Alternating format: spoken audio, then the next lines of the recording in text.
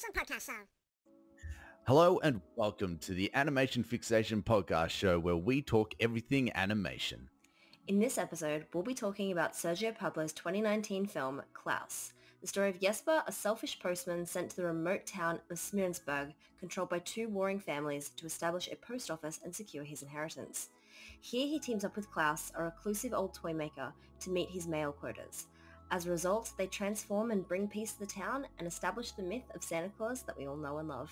Scoring 8.1 out of 10 on IMDb and a 95% fresh rating on Rotten Tomatoes, this film was a huge success with audiences and was the very first Netflix animated feature to be nominated for an Academy Award. With its unique style of blended 2D and 3D animation and original story, Klaus sets out to create its own unique look on the origin of Christmas. But did the film succeed in achieving that? Is this film really as good as people say it is? Uh, yeah, it really is. Absolutely. the first time I watched this film, I knew that it was just going to be one of those films that I would be watching every single year. Added it to the Christmas list, and it's it's right up the top there. It's the thing I love about it is the fact that it's not like all the other stereotypical Christmas movies. You're not hearing all the old traditional Christmas songs and bright colors that you, you just expect around Christmas. It's it's its own very Yeah. unique look. And one thing that uh, that really caught my eye was just how Disney-like this film was in, in both Mm. its look and also how the characters were animated. And after doing a little bit of research, it turns out that the the director Sergio uh, Pablos was actually a Disney animator. So he, yeah, he, he it worked on um, uh, Tarzan, Hercules, and there was one other. So he was a character designer and an animator for Disney, and so that really comes through in this film. Oh, absolutely.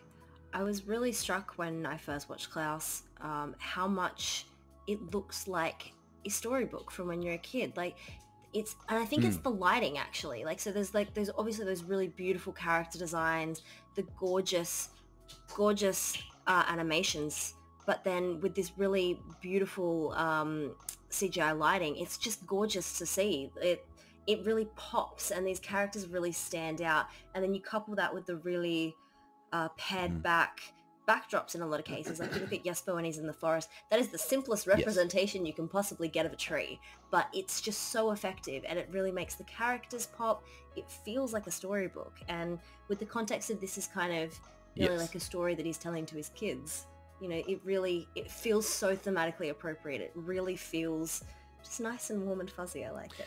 Absolutely, and it still brought in the those dark moments, those hmm dark characters that aren't necessarily evil. They're just so stuck in their ways and that they don't want things to change. And it's the whole spirit of Christmas that's being developed over the, the period of this film that brings the, the light back into the, the characters' lives. And I just love how unique this whole thing is. Though I, I will say though, so, some of the character tropes we've seen a million times, like the, the whole lie reveal thing with uh, Jesper. It's kind of rolled my eyes at that, Yeah. but you know, it, it's just a small thing.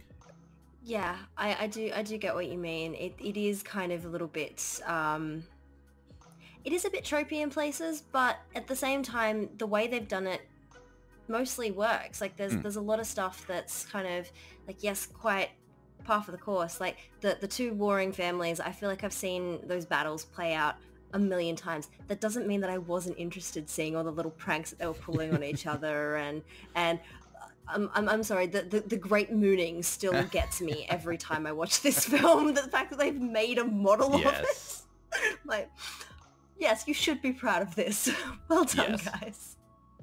It's just, it's so beautiful and petty and um, I, I really like seeing all of the different Mhm. characters interact. Yeah. I did have a question for you though. What did you feel about the uh, inclusion of the Sami people kind of filling the role of the elves in the workshop? I thought it was ingenious, to be honest. I mean, the the whole story of Christmas and even Santa as a it, it's it's very European, and so having these um, hmm European people come in and seeing their their influence on the design of Klaus and becoming Santa, I, I thought Yeah. it was a, a real beautiful touch, and it it gave it a, a sense of realism. Like the, I didn't find this film to be overly cartoony. Hmm like some of the the characters and some of their proportions were cartoony but their their sort of interactions with each other really felt genuine and so when these people come in and they help Klaus and they're bringing their own influence, it just gave it such a nice touch. And with the design of Santa Claus that we know today, you, you, you look at the outfit that they gave Klaus. It's like, oh, I see, I, I, I can really see where they're going with this, and it's it's a believable look. And and I like that they didn't make him the the full traditional Santa Claus with the the puffball hat and the the purely red and white outfit. Yeah. Uh, I, I really like that they gave him his own unique look while still being faithful to the style of Santa Claus that we do know. And it gives a feeling that, okay, this is really where the story and character of Santa really started and that it did evolve over time. Yes, and you know, being able to kind of see, I, I really loved the the little kind of bits of the the, the Santa Claus mythology. Uh, and seeing how that evolved in the film, like just this this absolute game of telephone with all these kids. Like one kid gets a toy, the next thing, the, all of the kids want a toy, and and you know the way these rumors are all started because of you know one wacky hijinks, and then it's like, oh my god, the sleigh flies, the reindeers are magical. It's just it's so pure and wholesome. And it's and like like the whole classroom of kids that all just rock up and like that's how you spell my name teach me more things it was just it was this beautiful hopeful view of childhood and i loved it i really really loved it Yeah. Absolutely. I, I- I completely agree with you. Um, now, with this being a Christmas film, do you think that it's one of those films that you could actually watch all year round or would it be something that you would just say, no, this is purely 100% a Christmas story? You know, we should only watch it around Christmas. Do you think it's something like that? Or do you feel that they've done it in a way that you could actually watch it all year round and still get the, the spirit and, and enjoyment out of it? well tim as you know i am bar humbug um, and christmas is confined to the month of december and not Mhm. one second Mhm. previous or after Yes. But that being said, I think this this is a film you can watch year round. It's not just a Christmas movie. Yes, it's kind of got this kind of Christmas underlying arc to it. Mhm. But in the end, the film is actually about, you know, coming together as a community and and the thing that they keep coming back to, one random act of kindness sparks another. It's about being neighborly. It's Yes. about, you know, treating people how you want to be treated and just bringing joy into the world. If if you know your your situation is miserable you don't help it by making more misery you help it by bringing joy. Yes. so i think this is something that people can enjoy year round this is a christmas film but it's not just a christmas Yes. film Yeah, I, I completely agree. It, it's it's a, a rare exception. Yeah, got Mhm. Christmas movies like Elf and uh, Home Alone. yes They're like the, the pinnacle of uh, Christmas classics, but i'm, I'm sorry you're, you're forgetting the muppets christmas carol that is my go-to christmas movie I'm so sorry. I can't believe I forgot that one. Christmas, uh, the Muppet Christmas Carol is what got me into the this um, the story of the Christmas Carol. hmm But you know, as much as how great all those films are, you feel weird about watching them when it's not Christmas. Mhm. Uh, uh, Klaus is definitely a rare exception. yes And I think it's because they, they've they haven't done it like a traditional Christmas movie. They they don't have all the, the stereotypical things that you expect in a Christmas film, and I think that's why you can get away with uh, watching this any Yeah. time of year and, and still get the message, still find the enjoyment out of it, and it not feel out of place. no i think you're right yeah it's it's definitely something i think I, I know I watch it year round, so and I'm bar humbug, so I think that means other people can too. Yeah, absolutely, absolutely. Now, what did you think of the voice acting? I thought the voice acting was really, really good in this film. I, I love J.K. Simmons um, in general, uh, and him as Klaus was just absolute perfection. I don't think you could have cast that better. Um, I was reading that uh, most of Jesper's lines actually weren't scripted. A lot of it was ad lib. Is that right? Um, which apparently so. So um, I'm I'm quite impressed by that because it flows so well, um, and I think it really helps to make the character. I mean, obviously, kind of he starts off fairly unlikable, and you come round to the end to to actually quite liking him, uh, and my hat is off to the voice actor for Mhm. that one because yeah, he he did a fantastic job of of portraying Yeah. that character. Oh, absolutely. Uh, to, to be honest, I never actually um, thought that the character of Klaus was ever unlikable. Um, I, Oh I- no, yes, but yes, but not oh Klaus. yes, but, sorry, sorry, yes. oh no, yeah, you're absolutely right. Uh, was. I mean, also Klaus is kind of scary at the beginning. He's meant to be the big scary woodsman that, that He just thinks is is. going to axe murder him. He is, but I, I don't know. Like, I found him very relatable, even fr- like from the very beginning. But um, no, yeah, you, you're definitely right about uh, Jesper, Mm. and they definitely chose the right actor for him and for Klaus. Mhm. But I would actually have to say that I thought that Joan Cusack, as good as Mhm. an actor as she is, I didn't feel like she was the right pick for the role because the the character that she portrays, uh, Mrs. Tammy Krum, she, she looks like a, an old, bitter woman, and I just felt that Cusack's voice was too young for the character, and it for me at least it, it felt out of place. Did you find that at all? Um, I didn't overly. Um, I, I mean, mostly because a lot of the roles I've I've seen and heard uh, Joan Cusack in Mhm. recently, you know, she's kind of been in more of that sort of the the, the crabby Yeah. crabby woman role. I love her. I think she's I think she's hilarious, and I think she does uh, very well someone that is quite smart and annoyed at the people that are dumb Yeah. around her. Like this is this is just a great vibe that she gives off, and I quite enjoyed her performance because I, I, I, felt I felt that character suffering as the, the, the they're planning to take down Klaus, and the, the they're just not getting it. Like you can tell she's the brains of the outfit. and, Oh, oh look, I wouldn't say that the the acting itself was bad. Oh, she's Oh, a very good act, actress. I just felt that the sound of her voice didn't match the character, at least the design of the character.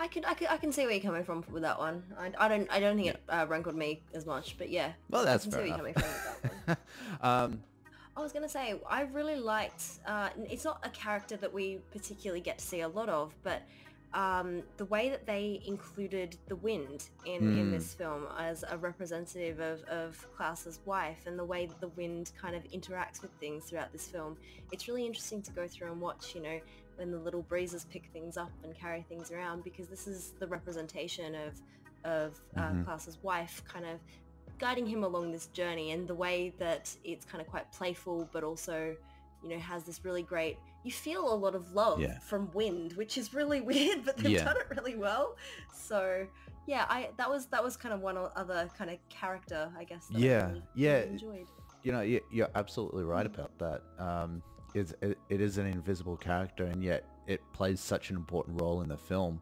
We do see this a lot in other films where you have some sort of element that seems to guide one of the, Mm. the, the lead characters, and this one is no different.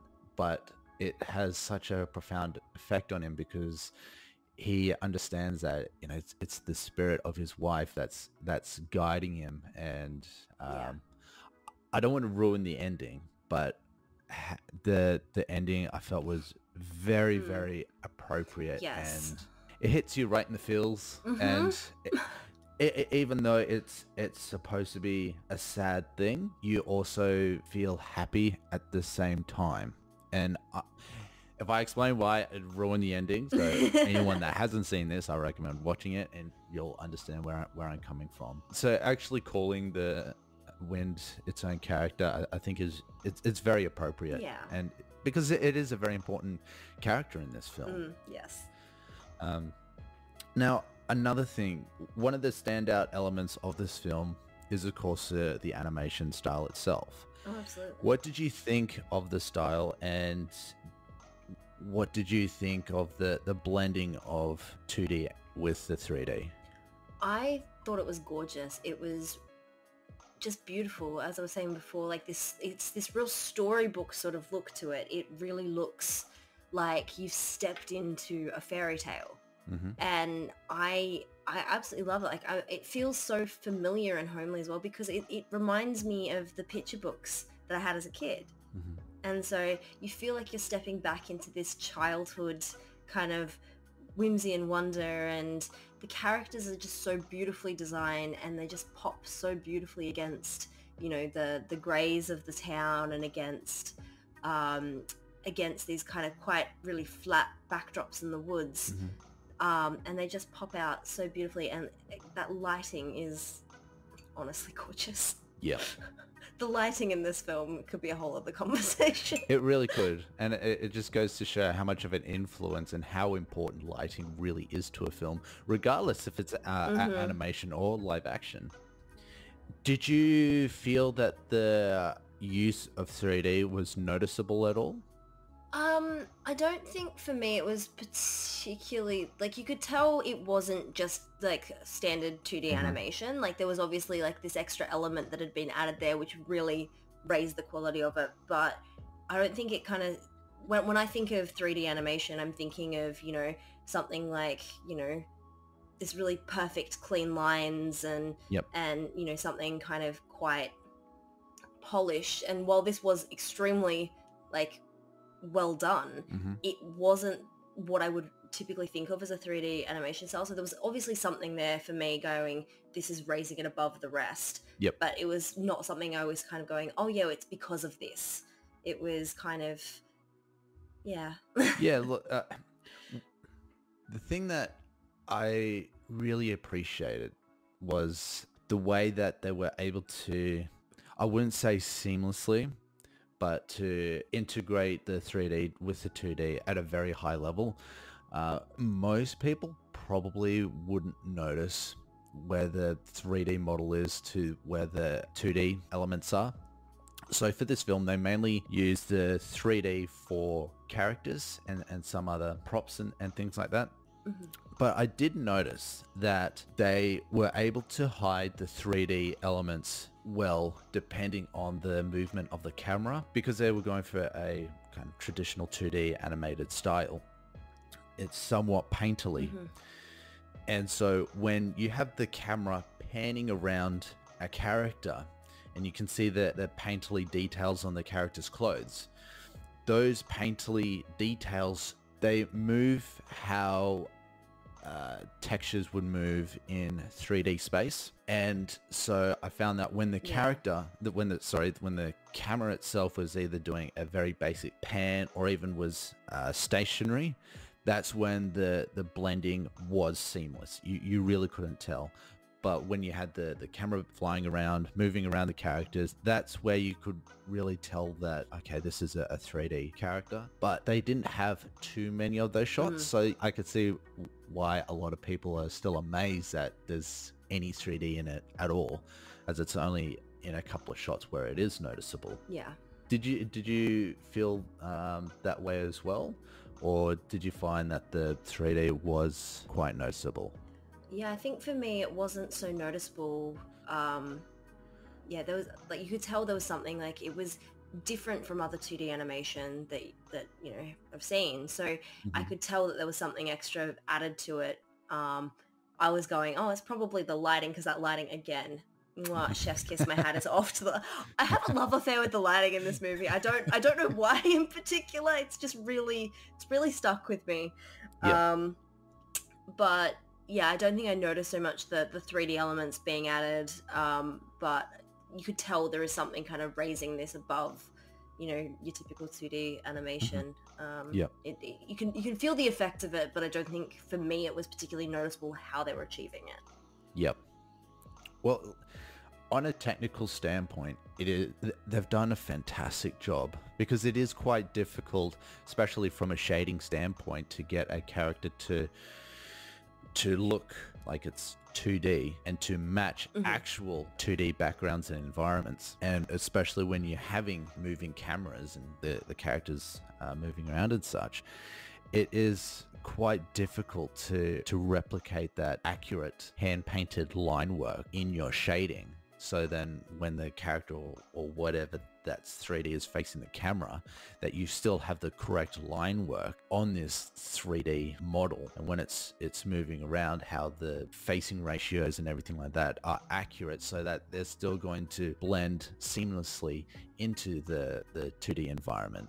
So I, I think they did an absolutely phenomenal job with that Absolutely. with um, especially in, in visual effects we've done our job correctly if no one can tell that any effects have been done Yeah. and I, I really feel that the good 95% of this film the shading and texture work were, were done to Mhm. to that extent where it's it's very difficult to to tell Yeah. and coming back to um, your love affair with the lighting that definitely helps sell sells it as well oh yeah. 'Cause, uh, lighting and shading, they, they go hand in hand. Uh, You, you can't have a great looking character with just good lighting, uh, good yeah, good lighting and bad shading, or good shading and bad lighting. One really has to work with the other for it to be able to sell the the final look. The, the lighting's really helping it kind of pop and stand out and and feel just I don't know it, it makes it feel like it's it's alive really but if if you've got you know bad lighting on on good shading it's going to feel Mhm. flat and if you've got good lighting on bad shading you're just gonna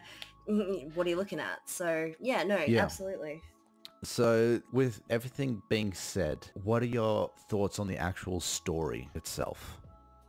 I think it's really cute. I think it's.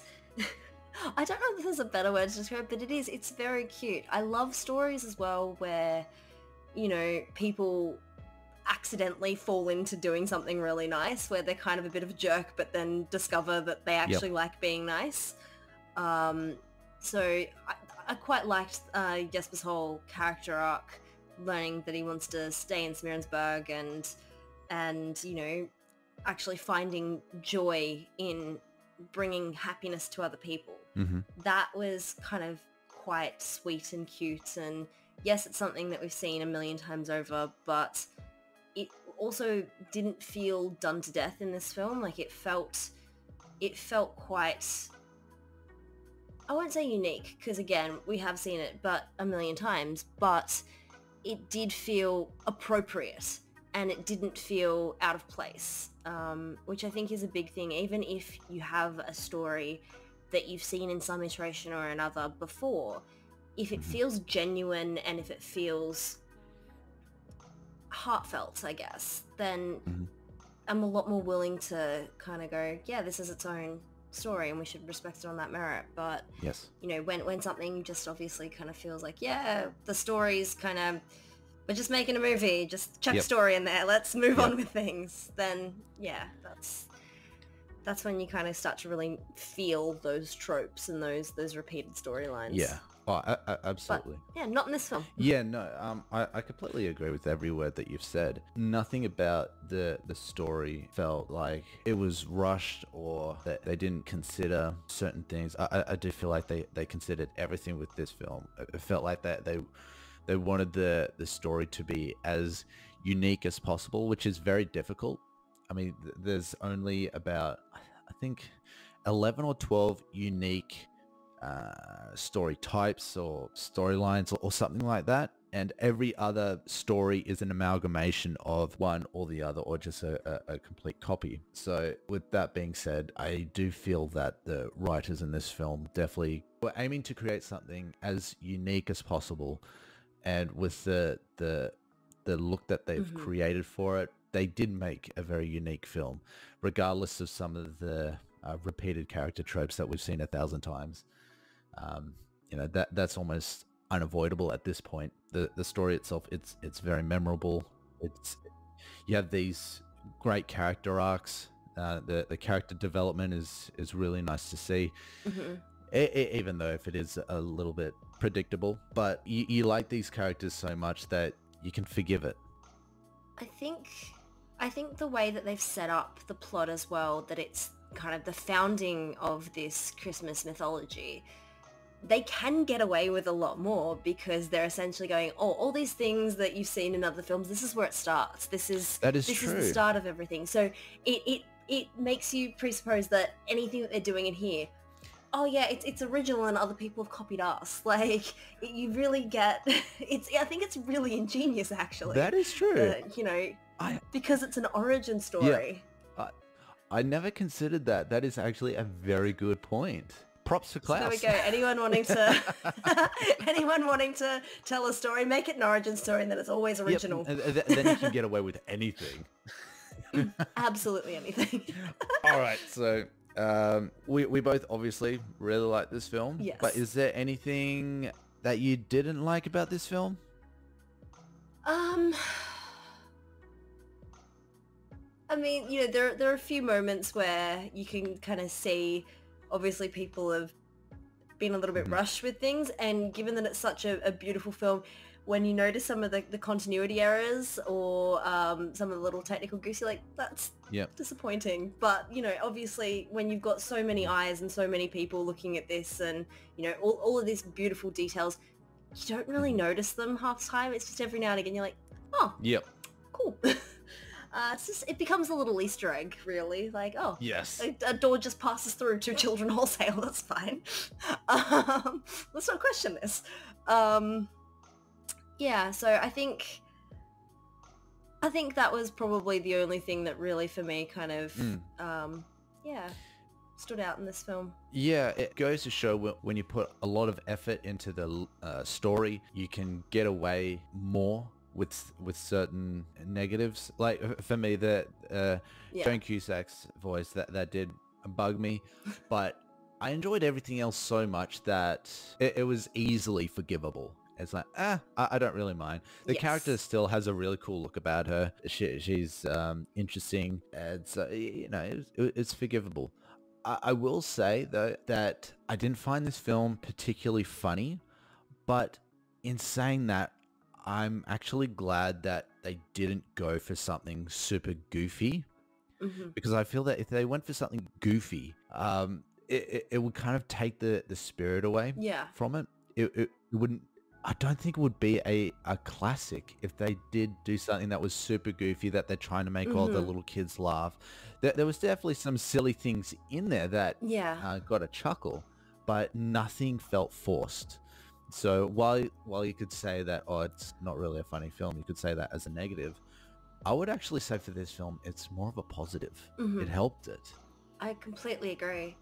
I think actually one of it's kind of it's not a great funny moment like you know you're not going to get belly laughs out of this film Mhm. pretty much Yep. but um one of my favorite moments is just the uh, little petty interaction between some of the neighbors Yes. and when the kids decide that they've got to start being good so they they don't end up on Klaus's Mhm. naughty list and they pick the berries and then deliver the berries to their neighbor uh, instead of stealing her berries that day and so she you know in retaliation makes them jam because that'll show them and then in retaliation the family makes her a pie Yep. because that'll show her and so just that little people being nice by being petty it's it was for me that was just like the, the humor in this in this film it really just kind of settles in and you just kind of like this is just cute and sweet Yep. like you, you kind of have a little bit of a bit of a grin on your face the whole way through but you're not going to be kind of on the floor laughing it's No. not that kind of film and i think